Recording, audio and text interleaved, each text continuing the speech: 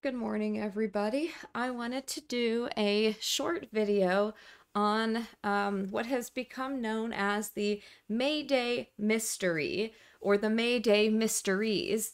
Uh, this is something that I've actually talked about for a couple of years now. If you're familiar with um, my work, not specifically on this channel, but generally on live streams and stuff like that, this is something that I had been interested in and looking into for a while. Um, this is just going to be a short video on this, a brief introduction, if you will. Perhaps I would make a more detailed video on it in time, but this is something that is continuing to this day. It still has not been solved, although there are um, many theories of who is behind the May Day mystery. For people who are unfamiliar with this, um, ads were placed in the Arizona Daily Wildcat newspaper.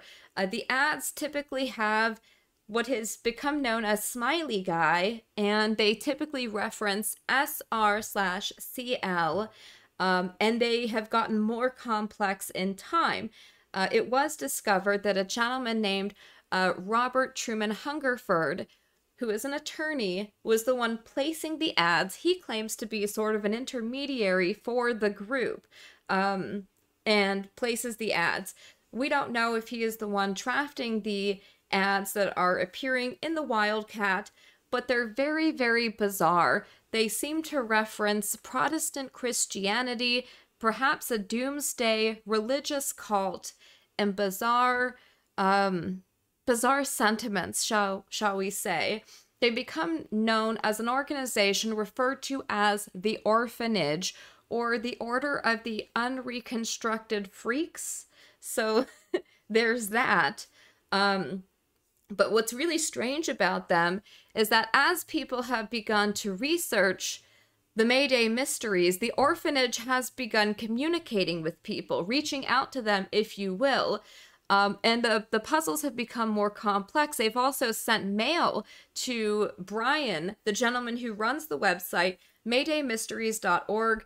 We will look at the website. This is the website. Um, Brian Hance is the gentleman uh, who runs this.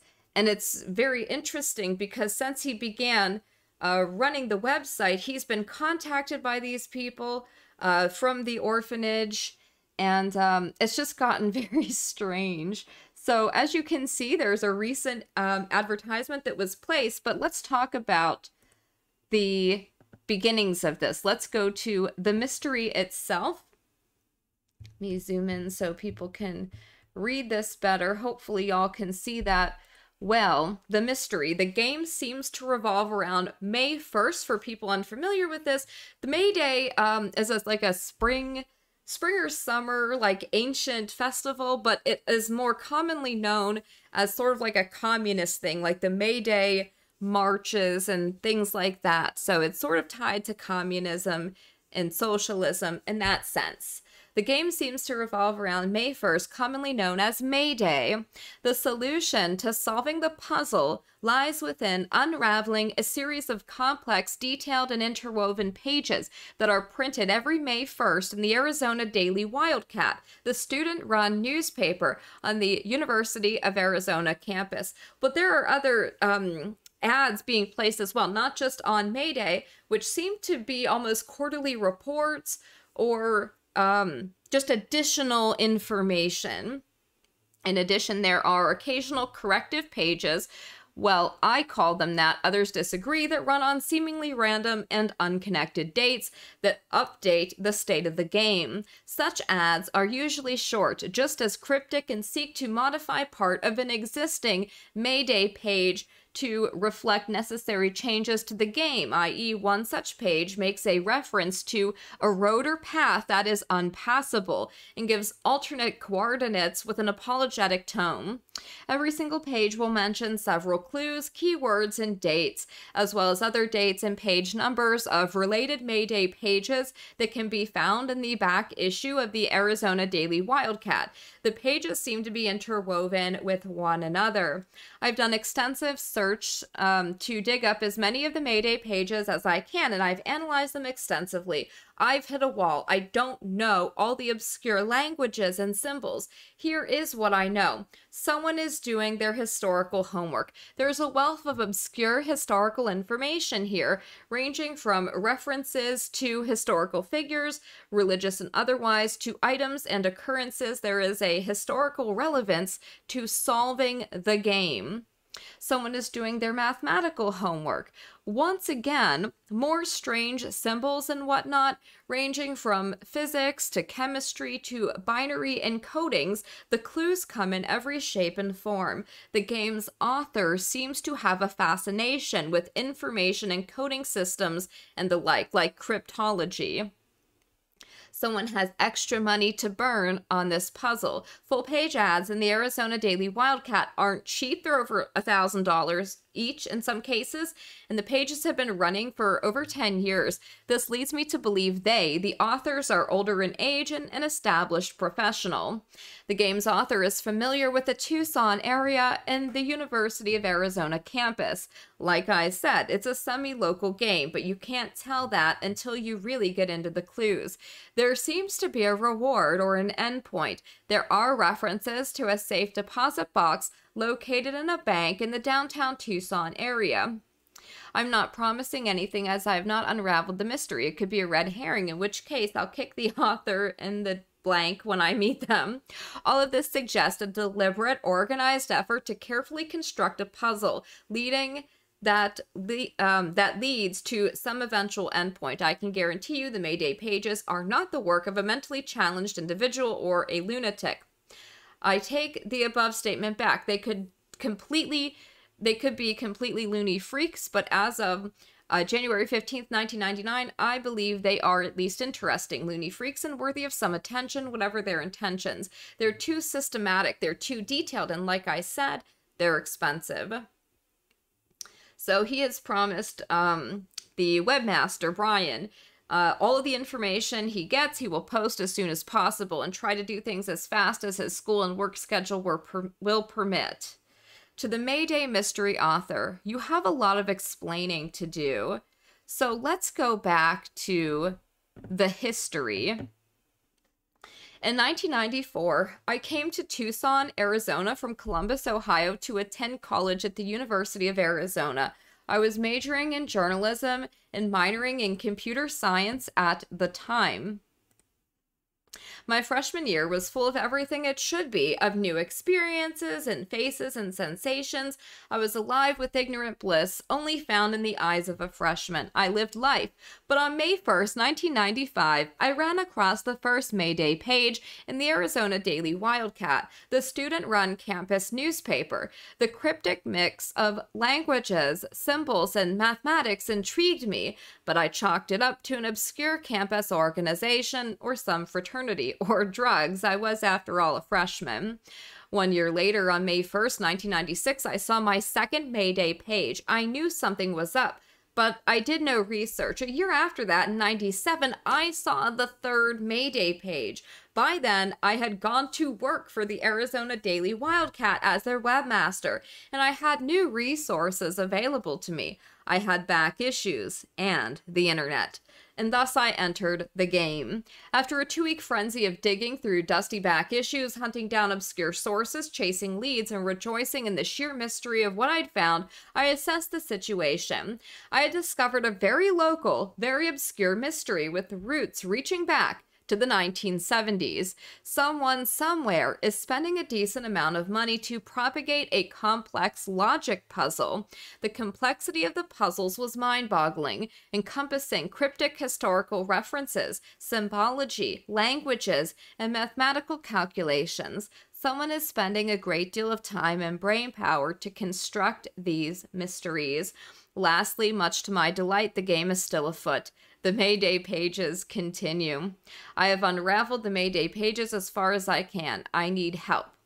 There's an update from February 1st, 1999. Myself and others have been contacted by the people behind the pages. Their emails make a few things very clear. So, in the name of not pissing them off any further than I already have, I make few clarifications. They say it is not a game. They say it has some sort of cause. They say it is not necessarily Tucson centric. And they say we're getting there, but pointed out some large errors and missing portions, clarified a few wrong assumptions. And yeah, I spelled llamas wrong in about 9 million different places. Sheesh. I told you it was weird. So that is the history. We'll go to the lexicon. Uh, the portion of this site is very out of date. It has become impossible to keep up with millions of clues we have amassed on the individual pages. So there is a summary document that you can look at.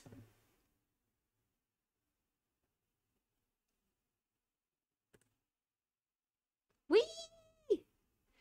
Um, you can do that on your own. We don't need to waste time going through that. But there are different things here. A chess player, and uh, Alekhine, Alexander Alekhine, Grandmaster. Uh, Arabella, the boat John Winthrop, governor of Massachusetts, came to America in. He wrote a sermon, a model of Christian charity while aboard, outlined the process of God for New England. A Brasher doubloon, a rare coin worth a lot of money. Um, also, a film based on Raymond Chandler's The High Window.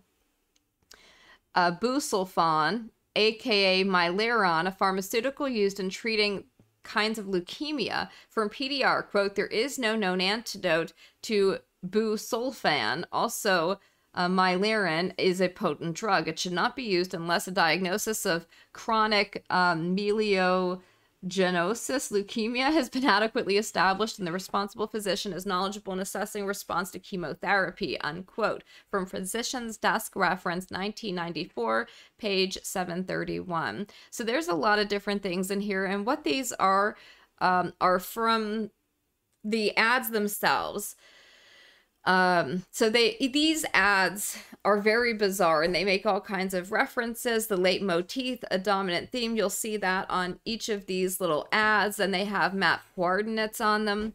So I think you can spend a lot of time maybe getting into the complexities of these, but I don't think that that's necessarily um, what anyone should be spending their time doing. So this is the ads themselves. Um, from what the we know, the first ad was placed May 1st, 1981. That's actually as far back as the archives of the Wildcat go. So there could be ads that were placed before that. There could be ads going back to the 1960s for all we know, but we do not have access to the archives. So as far as we know and what the archives permit, this was the first ad um, the first ad reads SR slash CL Richmond. And then there are Chinese characters, May Day 1981. So these are, you can submit clues for each of these ads, which is really cool. And these are some of the uh, clues that people have put on this. So they have read the Chinese, and it essentially means long live Chairman Mao. Now, these also appeared on a, on a particular stamp which is interesting because stamps seem to be somehow part of the the themes here i guess or whoever is um, making these ads they have a thing for stamps. Um so these are just different people's theories. Very interesting. So anyone can submit a clue or your theory. 10,000 is generally used in Chinese for infinite. So to wish someone 10,000 years of life is to wish them eternal life. Very interesting. The early clues seem to hint uh, at a motive for the whole thing. May Day is a holiday as a holiday is a celebration of the working man as opposed to the capitalist. It is an important day for protest against the World Bank, etc. There seems to be a preoccupation with the theme of money and banks in many articles, and these early messages have a very communist theme. May Day is an especially important holiday in communist countries. Perhaps these are people engaged in extra legal protesting who want to organize their protests without the police finding out. The rest could just be games. That is, my best guess as to what this is all about. I was researching Bushou and Kangxi radicals and stumbled upon the first character in the image. Hair, fur, feather. So this is some weird stuff. Um, Chairman Mao. Yes, exactly. um, been too busy to look at this for a while, so apologies if I'm repeating things that have already been seen elsewhere. The Chinese had been deciphered, but no one seems to have commented on SR slash CL Richmond. If it's a place that's intended there are upteen to choose from. The SR slash CL I seem to vaguely recall has been commented on another page. So at the risk of repeating what someone else has said, I came across this very formula used in a contingency planning context to represent safety review slash checklist. If that is what is intended, then Richmond might be connected in some way. Now, I'm not sure that that's what it actually stands for. There's been other speculation that it is the the name of the man who purchased um, a stamp company, I guess, or a a stamp clearinghouse or something very weird stuff. And yeah, Stan- Stanley Richmond, the Daniel Keller Company. So that was interesting. He says, I'm beginning to think there is a definite connection between long live Chairman Mao sayings and long live Chairman Mao stamps issued in China on May 1st, 1967. The stamps can be found here, so there is a link. It is worth noting that the name Richmond is well known in the stamp collecting world.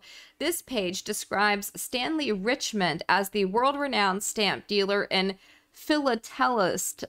I guess I'm saying that right. I'm probably not. Mr. Richmond is the president of the Daniel Keller Company located in Boston.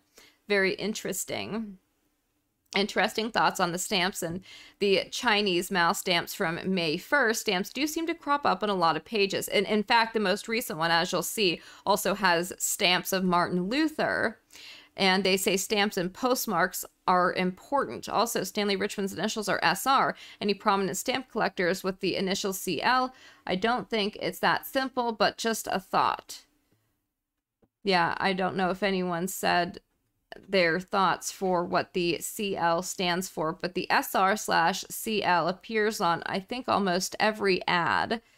And there's a leitmotif in every ad. It is very bizarre. So we'll go back to the next ad. Again, SR slash CL soon. So these are the clues people have submitted. Carlos, I think the small ad of 1981 has cuneiform numbers in it. It's been ages since I last read about that numbering system, but some of the cuneiform in there are numerals. Very interesting. I quickly checked the local text on Mesopotamic maths. Indeed, some of the cuneiform in the ad seem to be numerals, but the rest are apparently not. I don't know crap about Mesopotamic languages and alphabets, but I think this message could only make sense if you know the source of the cuneiform lines.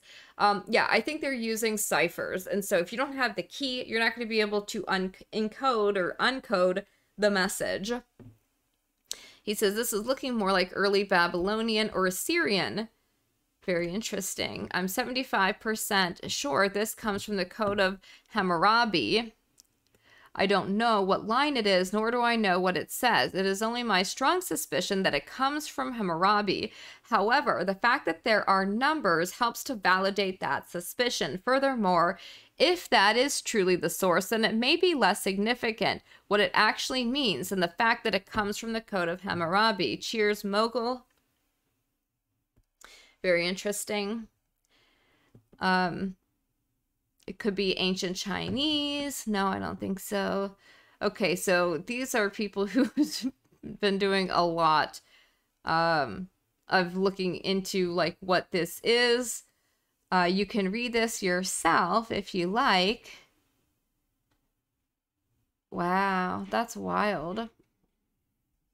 Okay, so they're saying this was smiling me today. This unbelievably obscure snippet comes from office paperwork of a, Su a Sumerian temple. It translates as "it's fish."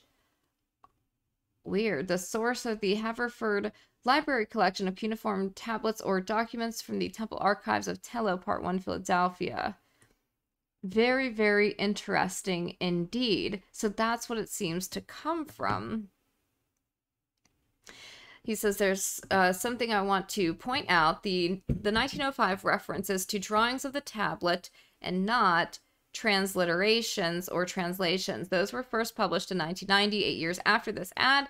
The 1990s transliteration of this tablet is given on the CDLI link with the image of the tablet. The translated numbers or pen strokes might have some information, but I doubt if they are expecting someone to translate this unless it was an expert. In the translation of cuneiform, the first step is transliteration which is the conversion of the symbols into syllables representatives of the spoken language. I think the written language is the ancient Middle East changed, varied more than the spoken ones. So the spoken ones make better starting points for an X to English dictionary. There are several of those dictionaries. One would be applicable to this tablet is the Chicago Assyrian Dictionary, which was recently pointed out to Brian by the Freaks.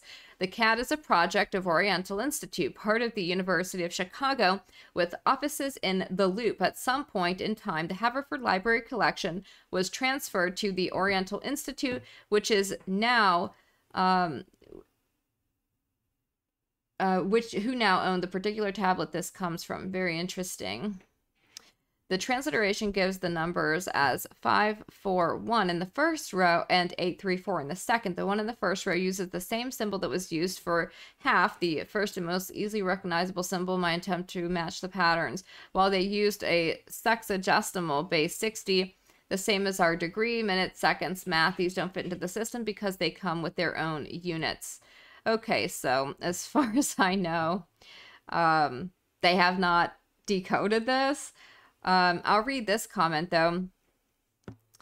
Uh, okay, I guess we can confirm that they had a transliteration now. Anon's uh, clue pointing to a location um, northwest of Khartoum in Sudan tallies with info from other announcements. IIRC, the location, at least general location, need to check has come up before. They insist on continental European connections, so their use of leaders, if that's the case, would be would not be problematic. Main thing I was going to post: the text talks about fish. The fish being a symbol used by early Christians Yes, notably when they had to be secretive during their persecution by Roman authorities. Point is, these early announcements don't reference Christianity, but it is one of the main themes running through all the communications and through the project in general after this first series.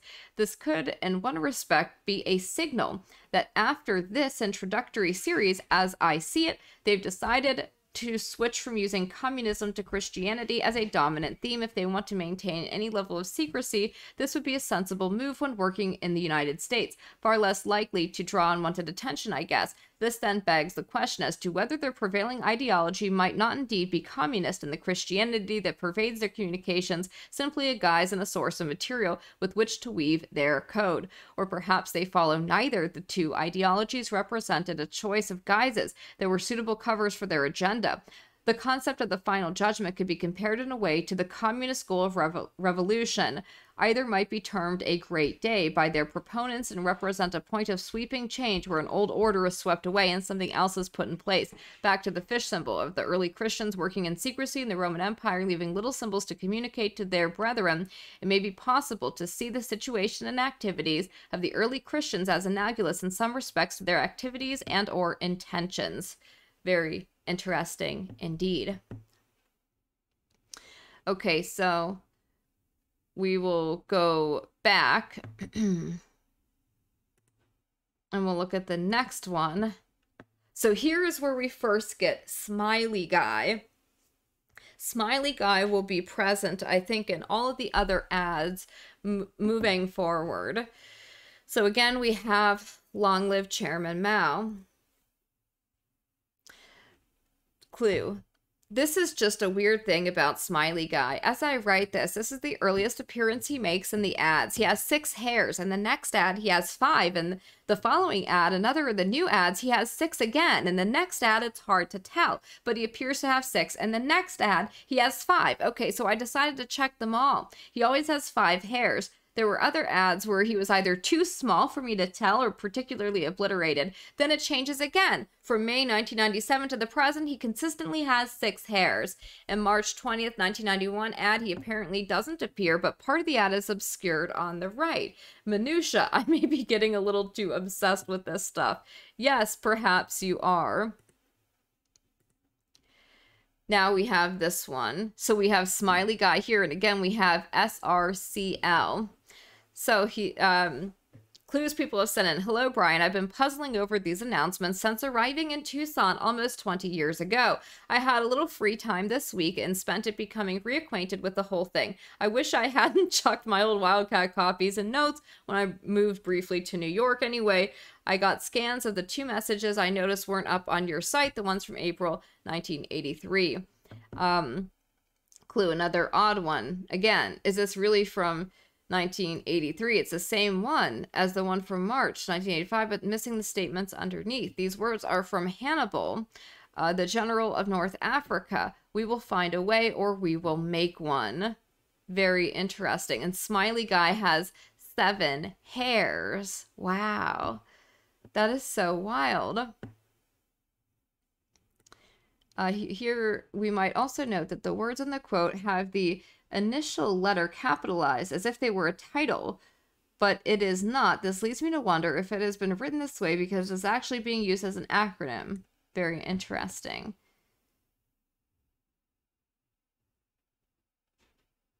Okay, so then people start getting into some weird stuff like um, gematria and whatnot.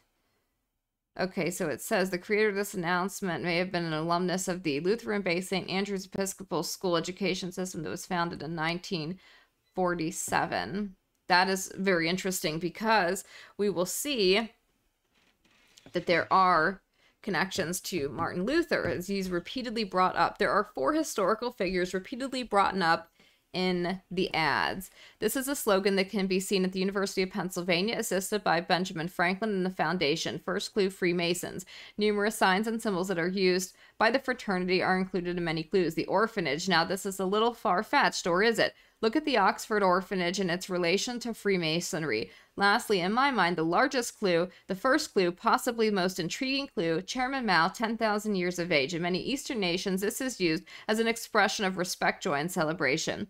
Fittingly, this clue happens to fall numerous times on May 1st, which is arguably the most important date to Freemasonry, May 1st, 1776, when the final element in the equation of Freemasonry was introduced. It's already possessed by this time of strains of fertility cult, Islamic mysticism, alchemy, Templar, Templary, and Rosicrucianism.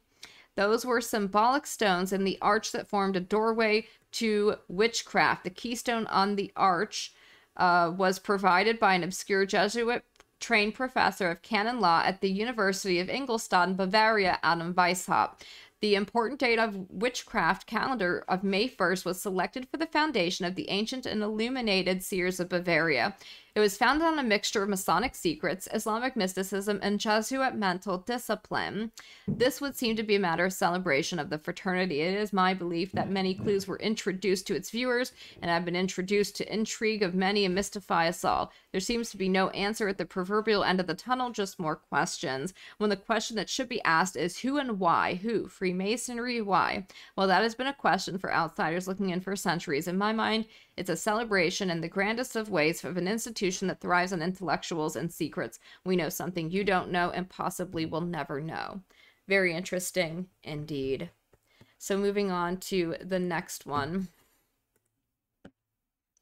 Here we have again 1982. Um, we don't need to go too deep into this because they're gonna get weirder and weirder. Here you got Smiley Guy again with five hairs this time. Um, just something to get started, I tried translating the text from Latin to English only to find the other Latin word is aut, which translates to either or. Very interesting. So, okay, the orphanage, perhaps the orphanage is a devotee of Seneca or Francis Bacon, probably Bacon. Would not surprise me at all. We will find a way or we will make a way. Yes, Oh, wow. Oof, there's some weird stuff here. Now we go to November um, 1983. Implementation of VM and Venomous uh, third and current series. Final transmission for 83, 84 transmissions as per coordinates. Adjust for Greenwich mean minus one. So there's some just weird stuff here. And of course, we have Smiley Guy at the end. Since they asked for people to take a closer look at this particular date, here's my contribution a time, two times, and half a time seems to be a biblical reference found in at least two places in the book of Daniel. Then I, Daniel, looked, and two others appeared, one standing on this bank of the stream, and one on the other. One of them said to the man clothed in linen who was upstream, How long shall it be until the end of these wonders? The man clothed in linen who was upstream raised his right hand and his left hand toward the heaven, and I heard him swear by the one who lives forever that it would be for a time, two times, and half a time and that when the shattering of the power of the holy people comes to an end, all of these things would be accomplished. I heard but cannot understand. So I said, My Lord, what shall be uh, the outcome of these things? He said, Go your way, Daniel, for the words are to remain secret and sealed until the time of the end. Many shall be purified, cleansed, and refined and the wicked shall continue to act wickedly. None of the wicked shall understand, but those who are wise shall understand. From the time that the regular burnt offering is taken away and the abomination that desolates is set up, there shall be 1,290 days. Happy are those who preserve and attain the 3,335 days. But you, go your way. The rest you shall rise for your reward at the end of the days. And another, Quote, he shall speak words against the Most High, and shall wear the saints, wear out the saints of the Most High, and shall think to change the times and the law, and they shall be given into his hand for a time, two times and a half a time. It's very interesting. Now, when we read this purified, cleansed, and refined, that is reminiscent of alchemy, which is clearly referenced uh, as mo- motifs or themes uh, through these ads from Plutarch's Lives, the um, book on Themos, Themistocles, chapter 2, section 3, but rather taking in it in hand a city that was small and inglorious and making it glorious and great. Very interesting. For the kingdom of God is not in word but in power. Yeah, Oliver Cromwell. Um, okay. Very interesting. You see a widening ideological chasm between two Protestant camps, and wishing to avoid more social strife, Crom- Cromwell dissolved the rump in 1653, calling it a conclave of corrupt and unjust men, scandalous to the profession of the gospel. He then assembled a so called Assembly of Saints, which he hoped would rule in fear of God. This body consisted of a few religious fanatics, but contrary to the conventional portrait, the members of the Assembly were mostly sober minded, moderate men. Cromwell admonished them to be pitiful and tender toward all thought of different judgments. Love all, tender all, cherish and countenance all in all things that are good. And if the poorest Christian, the most mistaken Christian, shall desire to live peaceably and quietly under you, I say, if any shall desire but to lead a life of godliness and honesty, let him be protected. Interesting indeed. Okay, so going back to the next ad, here we have again. Oh my goodness. A repeat message.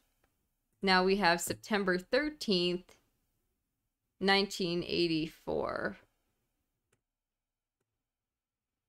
Again with the quote, and I think we have a couple coordinates added now we shall find a way or we shall make one. Again, referencing sort of revolutionary goals.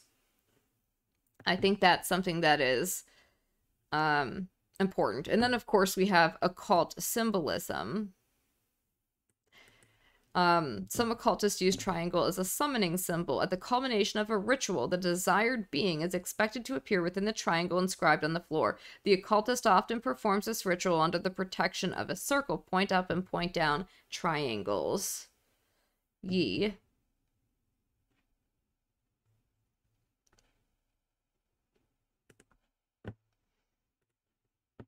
This is the one from 1985. It is necessary to make war not as one would, but as one must. More coordinates added. Very interesting. Hmm. Clue. Chinese Gordon killed at uh, Karatorm. I'm sure I'm butchering these names. Um, if that's, I'm sure I am. You don't have to comment about that. I'm aware that a lot of this shit is weird. so please forgive me if I'm butchering names. If anybody has any information about the Mayday mysteries, uh, leave a comment. Let me know your thoughts on this. What is the purpose of this? You know what it reminds me of? It sort of reminds me of the cicada 3301 thing, but this was obviously well before that. It almost seems like a way to kind of find certain people that are good at cryptography, linguistics, mathematics, history, theology, and kind of find these people and get them involved in a certain way. Maybe it's a way of locating potential recruits for their organization. Yeah, the Ides of March, the when Julius Caesar was assassinated. Very interesting. And you'll just see how, how crazy these ads become. So I'm not going to go through the the uh, decoding of all of these so far. I'm just showing the ads because just check out. This is we're still in the 80s here. Look at how wild this stuff becomes. So I will include the link to the website if you want to start reading like the people that have decoded this or have tried to, the clues that they have posted, you can. And if you want to leave one of your own clues, go ahead. But I want to just look at the more general themes of this because there definitely are some. Yeah, leitmotif. That was one of the reasons for Stalin acting as a supreme censor. If you believe that the written words affect men's actions, then you watch it. Lord Snow, a variety of men. One, blessed are the young ones that have died, who had not the time or patience for this earthly ride. Reason with the wind and advise the air, but tell not sorrow's child that life is fair. When Milpeta complained that Najima's exposition of the morning text was too hard to understand, Najima replied, The sword that kills is the sword that saves. Once you bend it, you can't mend it. I pray you, Lord God, strengthen me this once that I may be avenged upon the Philistines for one of my two eyes. Thus, those he killed at his death were more than he had slain in his life. Give me water when I am thirsty, whiskey when I'm dry, Sally when I need her, and heaven when I die. The bomb in the baby carriage was wired to the radio. These are the days of miracle and wonder. Don't cry, baby, don't cry. When a Cretan asked uh, Cervantes if he regretted the maiming of his left arm in the crusade against the infidel Turk, Cervantes replied, uh, To have fought at Lepanto, I would have given my right arm. And then we have this down here. And we have Smiley again. Very interesting. Now we go to 1988. Bizarre stuff. Stop Israeli Nazism. Very interesting.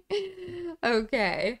Um, unscheduled, it says. Very interesting. But we see, once again, the SR slash CL. The East India man, Arabella, was buffeted while rounding the Cape and had to put in both uh, Walvis Bay and Luanda to avoid complications. Captain Morgan dispatched the vats of full doctrine overland via one Kananga and two Kisangani, Juba. Kitchener Pasha was already filed the manifest in uh, set chronometers as per quote drink for my friends and water for their horses latitude as per quote freedom is the recognition of necessity and then there's a little admit one ticket very interesting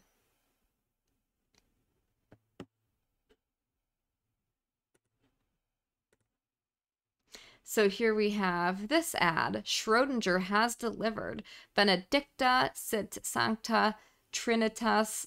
Okay, I'm not going to be able to read that. so wild. Quote, Give unto us beauty for ashes, and the oil of joy for mourning, and the garment of praise for the spirit of heaviness. Isaiah 63 1. Very interesting. The stuff is so weird. I swear. Then, okay, then we start to get these really complicated, um, bigger, like almost full page ads. So you have a chemical formula you have um part of chess, you have a quote by Dostoevsky When the lake of fire, uh, when shown the lake of fire with the dam struggling in the flames, I said, There is no torment worse than this. But the archangel Michael said, These are the lucky ones, millions have sunk to the bottom, and them God forgot. Oof. So it talks about like Revelation. There's these cross swords. You have Smiley Guy again with five hairs this time. Kierkegaard quote, uh, now the story of Abraham contains such a teleological suspension of the ethical, for Abraham is the representative of faith, and faith is normally expressed in him whose life is not merely the most paradoxical that can be thought, but rather is so paradoxical that it cannot be thought at all. Um, again, there's alchemical uh, references by rust and corrosion, by mold and dry rot, by silence and avoidance, by seepage and spillage, by defect and by dung, by flab and flatulence, by ebb and by Sheol, by gutter, guttering candle and brushled lamp, by halves, by quarters, by loss and forfeit, by stutter and by stammer, by rent sails and uncaulked hulls, by lukewarm and half bright, by stench and stagnation, by dead roaches and live flies, by slow waste and annual decline, by palsy and cataract, by drooling coma and abandon death by whatever means necessary. So there's some weird shit. For the kingdom of God does not consist of talk, but of power. We got that quote again. Our lives, our fortunes, and our sacred honor. The Greek phrase above Mao means roughly from out of death, life. Very strange. Huh yeah, we know that uh, for our, our lives, our fortunes, and our sacred honors from the Declaration of Independence. So again, there's just such weird stuff in these ads as they become more and more complex. The fuzzy, furry freak brothers spent the summer on Grandpa's farm. The farm is a training ground for the CIA. I do not know if that is the farm that is being referenced here, but I do find it kind of interesting you know?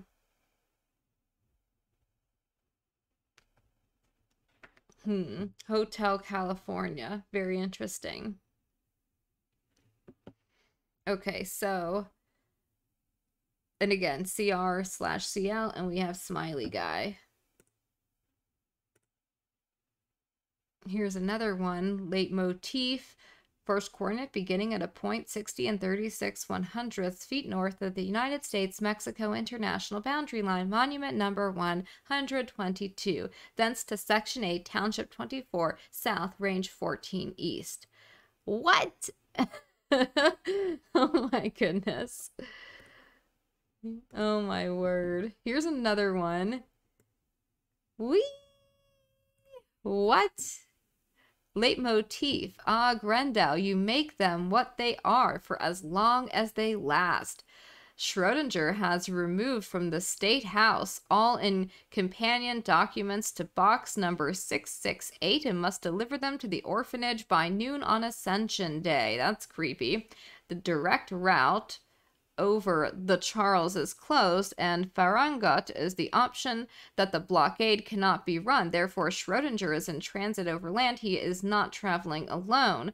ID of couriers can be verified as per mutanus uh, mutandis through and there are coordinates here this is just some bizarre stuff now this says as the pigs we have obtained at least one coordinate so they that's another thing. They reference the pigs a lot, which I suppose is their reference to, to law enforcement or something. Um very strange. Okay, so let's go back and look at this one. Check this out. What? Smiley guy is cut off. Rude. Schrodinger arrives safely at the orphanage. You may be living in another country under another name. It is the nature of obsession that of all things, second best is the most detested. what? Holy cow. This is some weird stuff, guys. Okay. zoom out. Mayday, 1989. Again, we have SR slash CL. And this is another full page ad. Leitmotif, quote, Papa may have and Mama may have, but God bless the child that's got his own. Weird. The orphanage will supply the refreshments. So again, referring to themselves as the orphanage. They also refer to like a, a rival secret society or something, which they refer to as Pelagian devils. It is very strange. Here's another ad. Here's 1989. The fools are in great demand, especially for social occasions. And then there are, again, coordinates. Leitmotif, time has no meaning in units less than 10.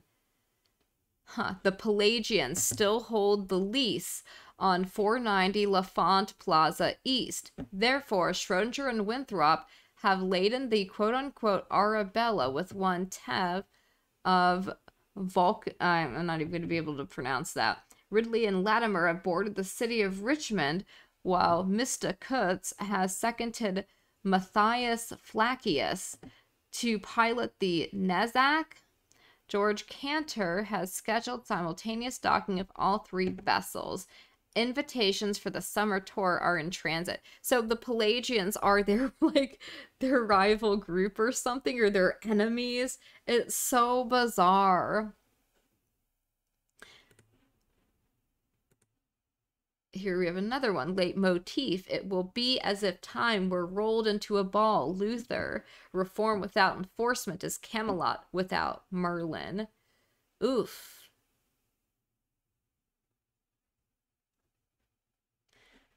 That's 1990. And that was Gustavus Adolphus photographed there. So we have a key, some weird writing here. Smiley guy with six hairs this time.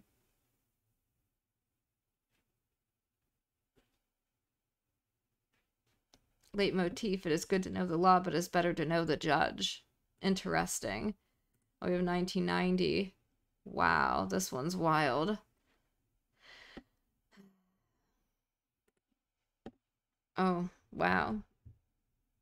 Vision is the art of seeing the invisible. Got Smiley Guy again. So they each have a leitmotif, as you can see. 1991. Again, some really strange stuff. Time's Arrow is the leitmotif here. Leitmotif, my time is in your hand. You see Martin Luther.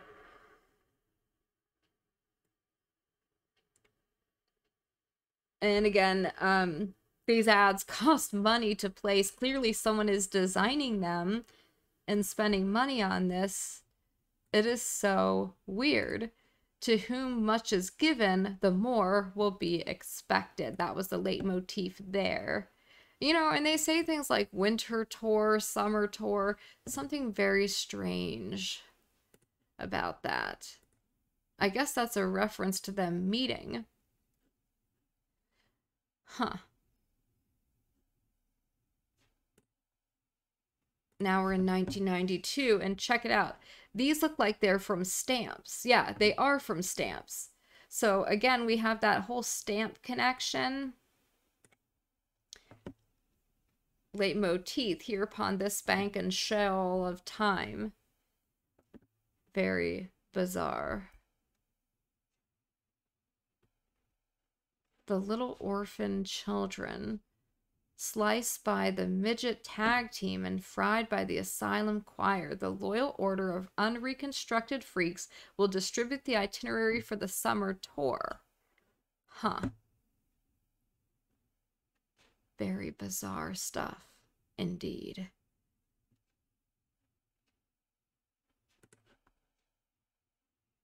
September of 1992,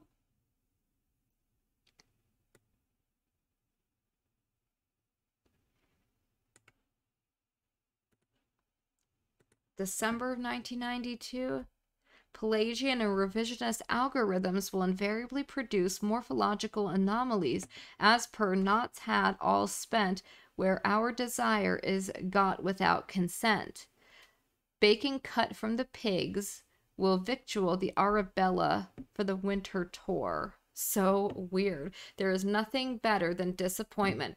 False friends and failed hopes enable us to do what no mortal would willingly pursue. Luther. It is again the leitmotif. Now we're into March 1993. Lest he that holds the key should be my enemy. That's the leitmotif for this ad. Smiley guy is down here, but I cannot see how many hairs are on his head. So you're starting to see sort of the, bizarre nature of this stuff. New corn from old fields is the leitmotif of this one. And again, it is super complex, super weird. Uh, it looks like Smiley Guy has maybe five hairs on his head on this one It's so bizarre. They have the leitmotif for this one.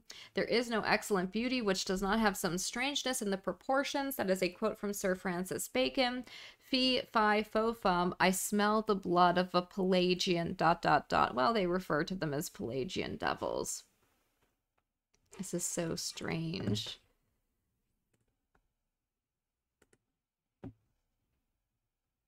The leitmotif for May Day 1994, what is now proved was first imagined by Blake. And again, very, very wild, very strange, very strange stuff. December 1994. We have a quote from Ovid as the leitmotif. Now, May 1995 um, some very bizarre stuff. But you can see Luther, Cromwell, Calvin, and Adolphus. Those are the same people that crop up again and again. We got Smiley Guy.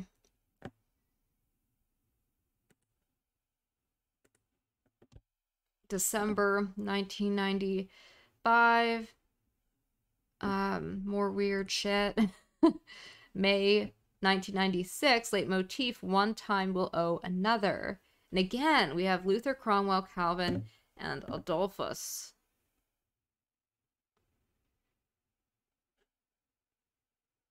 I was shaken with love and dread, St. Augustine. December 1996. Very strange. The history of language is the history of thought, a quote from Lenin. May 1997, again, we have these same four guys. The leitmotif is theory attracts practice as the magnet attracts iron. This is some wild stuff, guys. The leitmotif on this one from 1997, quote, they heard because they were condemned to silence and learned to see because they had no light, unquote, Thomas Blackburn. May 1st, 1998. Leitmotif The material world exists nowhere but in the mind. Jonathan Edwards. Very weird.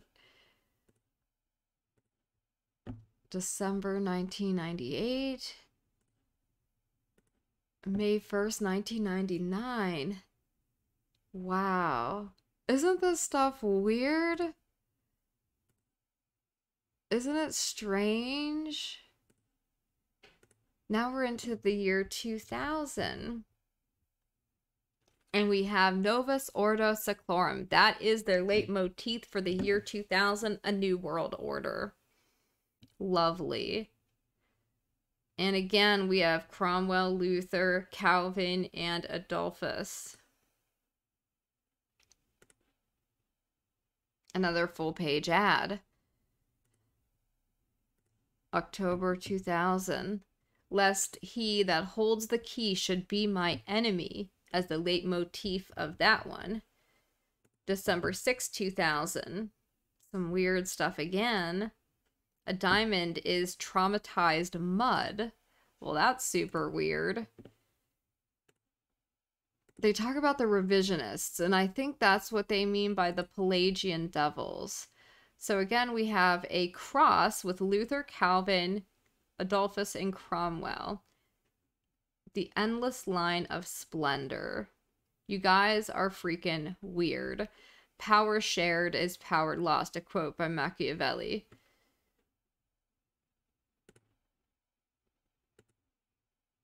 Here's another announcement. This one was super weird. May 2002, but he answered him nothing. St. Luke. Again, these same guys are referenced. A full page ad. This is so weird. December 4, 2002.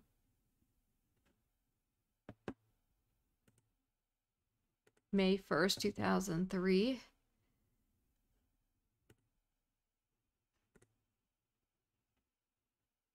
Okay, so we're not going to look at all of these. I want to go to the most recent, May 1st, 2002. We've got the stamps again with Martin Luther. We have Novus Ordo, a New World Order. Um, the motif here. It says salient passage of the Cambridge platform quote, idolatry, blasphemy, heresy are to be restrained and punished by civil authority. What is past is prologue. Burn, baby, burn. A terrible beauty is born. Yeats. So we have again Adolphus, Luther, Cromwell, Calvin. Eventual realization is not a problem. Lascaux waited 17,000 years. Boil them in their own blood. Courtesy of Lenin and Lord Keynes orphans preferred. They have referenced the ad from 2000 that we talked about with the Novus Ordo Seclorum. A tale told by an idiot. Hotel California. So you can never leave, right? well begun is half done. The child is father to the man. It will rain tonight. First murderer, let it come down. And they're referencing prior ones that they did. Revisionists, you were warned the day you swore the oath blood in, blood out. Very strange. Here's April 1st, 2002. Or I'm sorry, 2022. So these are recent. Like, guys, they're still going. December 21st, 2021. Leitmotif, fee fi fo fum, I smell the blood of a Pelagian. So once again, Ble- uh, Bletchley Park suck on this? Oh my god. Debauch the currency. That is interesting. Because I think we're seeing our currency be devalued in the United States. August 23rd, 2021.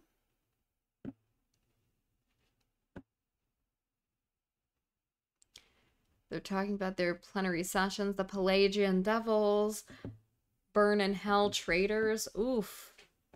As the roasted pig is placed on the ebony banqueting hall and the aroma of defunct adversaries ascends to the redwood rafters, the plenary session will convene at the Hotel California in the Crystal Chamber. This is so bizarre. Be upon the Bletchley Park. Oh, this is so wild. Soon, Sally, soon.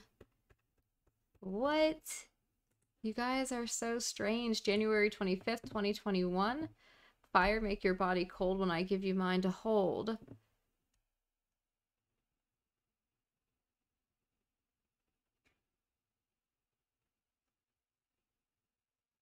Uh, it's so weird. May 1st, 2021. This is some creepy stuff.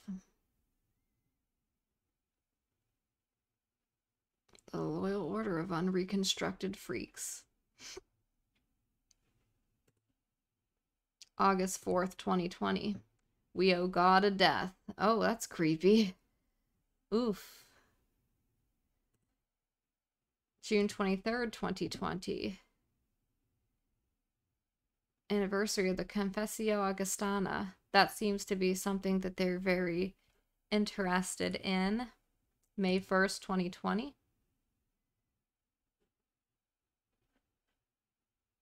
This is so weird. June 19th, 2019. May 1st, 2019. Dare to Hope. Again, the Novus Ordo Seclorum. Culminating in the Novus Ordo Seclorum, the orphanage directly commands Latimer and Ridley for bringing us one step closer to reform without enforcement is Camelot without Merlin. This shit again of like, you know, thought control. Okay. Now, I want to go to each of these individuals. Oliver Cromwell was an English general and statesman who, first as subordinate and later commander in chief, led armies of the Parliament of England against King Charles during the English Civil War, subsequently ruling the British Isles as Lord Protector until his death.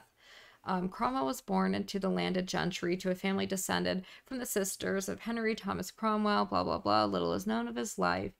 Um, to, okay, here we go.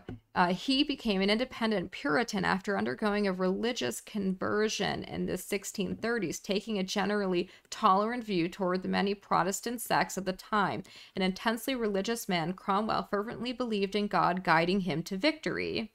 So he was tolerant of the Protestants. Martin Luther, German priest, theologian, author, and hymn writer, he is best known among Christians as the seminal figure in the Protestant Reformation and as the namesake of Lutheranism. He's known for espousing significant anti Semitic rhetoric. Um, okay. Interesting. Luther taught that salvation and consequently eternal life are not earned by good deeds, but rather received only as the free gift of God's grace through the believer's faith in Jesus Christ as Redeemer from sin. His theology challenged the authority and office of the Pope by teaching that the Bible is the only source of divinely revealed knowledge, as opposed to sacerdotalism, by considering all baptized Christians to be a holy priesthood. Those who identify with these and all of Luther's wider teachings are called Lutherans, though Luther insisted upon Christian or evangelical as the only acceptable names for individuals who professed Christ than John Calvin. Um, he was a principal figure in the development of a system of Christian theology later called Calvinism. Yes, so he was, uh, again, a reformer during the Protestant Reformation. Um, in, in the doctrines, it talked of predestination and of God's absolute sovereignty and the salvation of the human soul from death and eternal damnation. Calvinist doctrines were influenced by and elaborated upon the Augustinian and other Christian traditions. Various congregational, Reformed, and Presbyterian churches which look to Calvin as the chief exposit- expositor of their beliefs, has spread throughout the world. Gustavus Adolphus um, was the king of Sweden and is credited with the rise of Sweden as a great European power. Sweden became one of the primary military forces in Europe during the Thirty Years' War, helping to determine political and religious balance of power in Europe. Hmm. He was often regarded as one of the greatest military commanders in modern history, with the early use of combined arms. Interesting. His most notable military victory was the Battle of Breitenfeld in 1631. Um, let's see. He's known as the father of modern warfare. Interesting. Of the first or the first modern general. Oh, targeting Jesuit collections. Hmm. okay. Ah, he is widely commemorated by Protestants in Europe as the main defender of their cause during the Thirty Years' War. So, again, Protestantism. Now we get to Pelagianism is a heretical Christian theological position that holds that original sin did not taint human nature and that humans, by divine grace, have free will to achieve human perfection. Pelagius, an Irish ascetic and philosopher, taught that God could not command believers to do the impossible, and therefore it must be possible to satisfy all divine commandments. He also taught it was unjust to punish one person for the sins of another. Therefore, infants are born blameless. Pelagius accepted no excuse for sinful behavior and taught that all Christians, regardless of their station in life, should lead unimpeachable, sinless lives. To a large degree, Pelagianism was defined by its opponent Augustine, and exact definitions remain elusive. Although Pelagianism has considerable support in the contemporary Christian world, especially among the Roman elite and monks, it was attacked by Augustine and his supporters, who had opposing views on grace, predestination, and free will. Augustine proved victorious in the Pelagian controversy. Pelagianism was decisively condemned at the 1418 Council of Carthage and is still regarded as heretical by the Roman Catholic Church and Eastern Orthodox Church. For centuries afterwards, Pelagianism was used in various forms as a pejorative accusation of heresy for Christians who hold unorthodox beliefs, but it has undergone reassessment by recent scholarship. Oh, of course. Yes. Um okay, so it's just interesting. It, it there does seem to be this thing with uh, Protestantism you know, and that's why I think that, yeah, the Pelagian devils have failed to defeat the endless line of splendor. We shall overcome them by rust, by corrosion. Yeah, exactly. By whatever means necessary. Very creepy. Leitmotif, therefore, being justified by faith, we have peace with God through our Lord Jesus Christ. May 1st, 2017. Leitmotif, the most imp important branch of science, theology, Hegel. Very strange. Okay. So we're looking at a really weird secret society here. The fisher's son must cast about when shallow waters peter out. Everything that is done in the world is done by hope. Very strange. April 30th, 2016. Leitmotif, he calls whom he will. John Owen. March 23rd, 2016. Very strange. Agony is frugal. Hmm, and there's a bunch of smiley guys on this one. That's super creepy. Anyways, this video is over an hour long. I have no answers for you on who the orphanage is and who the Pelagian devils are. Um, clearly, they're purporting to be a secret society that is publishing their communications through the Arizona Daily Wildcat um, is this just shit posting in very complicated form by somebody like Hungerford? Uh, is this an actual group organization? Who can say? But, anyways, let me know what you guys think about it. Um, what are your thoughts on the the entire thing, the Mayday mystery? Um, is this something that you find interesting? Would you like me to do another video on this and go into more detail on it? Um, this has already become much longer than I wanted it to be, but it's just so weird, you know? You can't help but want to look at it.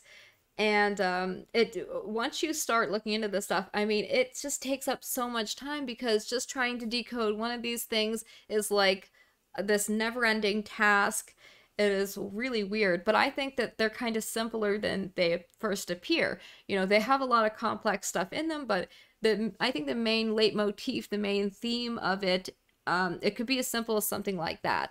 And just looking at the coordinates, I think that there's a lot of stuff put in there um, maybe to throw people off or to just be weird and cryptic. But it seems like they want people talking about it, they want it to be spread. And I think that's kind of strange because you know, it it kind of reminds me of like the cicada thing or um well, I'm not going to say it because I don't want to get in trouble by YouTube, but another recent phenomenon from 2017 that began on the internet with people decoding posts that were made by a cryptic individual with so called insider information that got a bunch of people basically wasting their time and propagating things that they didn't really understand you know? And so I think that that's sort of the goal here with the may Mayday mysteries to get more and more people talking about it, to spread whatever it is that they want to spread. They seem to be, you know, revolutionaries. I do not know if, if you could call them communist, but it seems like that's sort of what they are. So, anyways, it's very weird. Let me know your thoughts if you have any information on it. leave a comment in the comment section. And if you haven't already, you should like and subscribe to my channel.